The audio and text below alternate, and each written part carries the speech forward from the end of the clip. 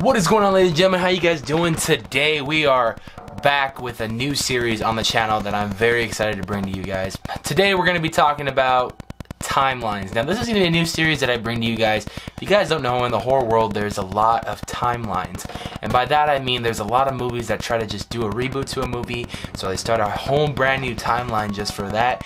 I'm very excited to be bringing this new series to you guys because honestly I feel you guys will relate to a lot of the timelines. Some people like other timelines better than some uh, timelines. And just because to get into the spirit of this movie, that opens this Friday as of this recording, um, we're going to be talking about Halloween's timelines.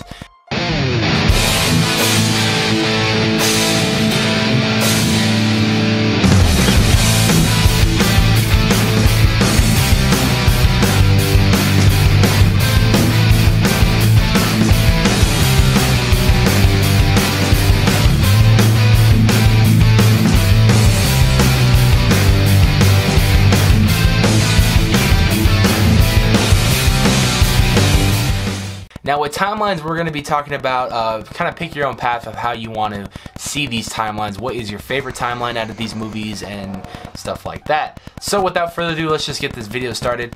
Starting off with the main timeline that we see a lot which is Halloween 1 and 2. That is the main uh, timeline when they originally got made. Those were the two first movies in the timeline. John Carpenter wrote and directed both of those movies, as well as produced it with Debra Hill, and uh, those are the most. Those are the two most iconic Halloween movies of all time. Um, I think it honestly is probably the two best ones, uh, in my opinion. So yeah, with one and two, those are gonna be the same night uh, as far as the movies go. It's supposed to be taking place on the same night of Halloween night in Haddonfield, Illinois. Now. Um, after one and two happened, uh, John Carpenter didn't plan on making any more. He kind of kind of called quits for that, and he wanted to make Halloween an anthology kind of movie where every Halloween movie was a different Halloween tale that took place on Halloween night. Um, and that was a perfect example of what happened with Halloween 3 Season of the Witch which we see is, a is a cult trying to kill a bunch of kids with these silver shamrock masks. They had the skeleton, the witch, and the pumpkin, and after they triggered the commercial, the chip in the back of each mask would turn their uh, head into mush and a bunch of insects would come out and end up killing the people around them. With that being said, that movie is kind of its own movie, so it has nothing to really do with the Halloween timeline. Um, as far as Halloween Easter eggs go in that movie, though, they do show like they're going to be playing the first Halloween on Halloween night as kind of like a little marathon. So that was pretty cool to see. So that tells you that in that universe, Halloween is just a movie.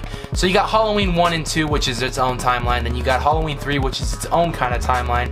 Uh, and then 4 through 6 timeline, it uh, branches off from Halloween 1 and 2.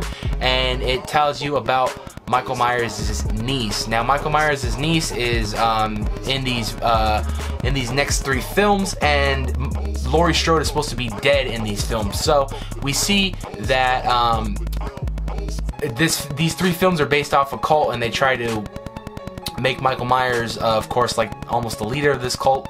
And um, honestly, Halloween just went somewhere completely different.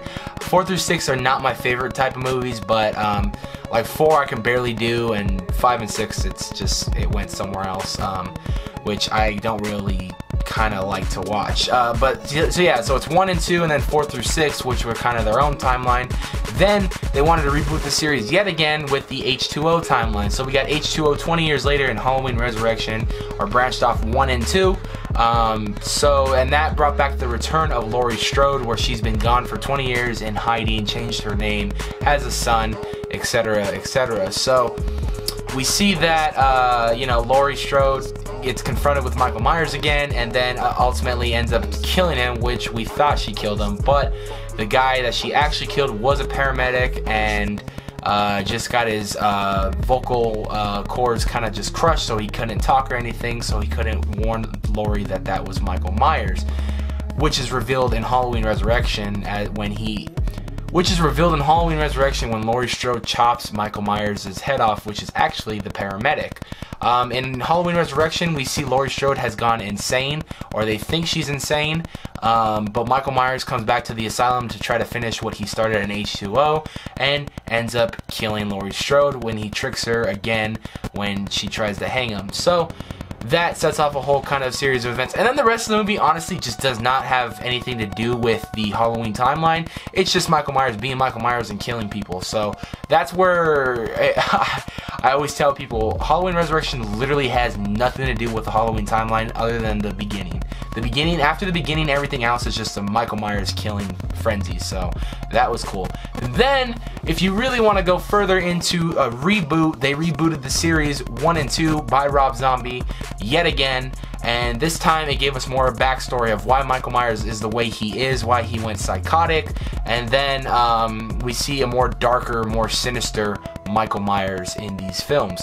So, honestly, um, the franchises have been rebooted so many times. The timeline for Halloween is probably the most confusing and messed up timeline out there.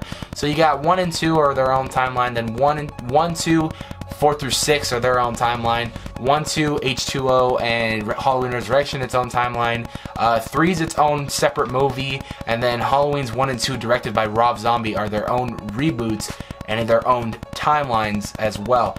Now, this new film that's coming out that's heavily being uh, titled Halloween 2018, which is honestly, it's just being titled Halloween, but a lot of people are calling it Halloween 2018. It's supposed to just branch off 40 years later from the very first film, so that's another timeline that they just set up. They scrapped everything else and just went straight from the first film uh, 40 years later. So they're taking away the timeline of Laurie Strode and Michael Myers being brother and sister, so that never existed, and they even mentioned in the trailer that that's just a myth people started. I'm very excited for this next Halloween movie, and I cannot wait. I've heard nothing but good reviews by it so far. Comes out this week as of this recording. I got my tickets for Thursday at midnight, so expect to see a movie review of that next week. And without further ado, people, that is going to be the end of this video. Thank you for joining the Madhouse. And if you're not part of the Madhouse, you can always join by hitting that red subscribe button and clicking that bell notification to let you know when I put up a video at all times. Make sure to put a thumbs up on this video. Leave some comments below what you guys think of the Halloween timeline. I know it's very confusing, but it is... Uh, it's been going on for 40 years, so you, you just kind of got to live with it. Um, if you guys like this series, also leave some comments below and see what other timelines you guys would like to explore. I am always looking out, wanting to see other timelines that you guys want to explore and see. That is going to do it, folks. I will see you guys in the next video. Bye.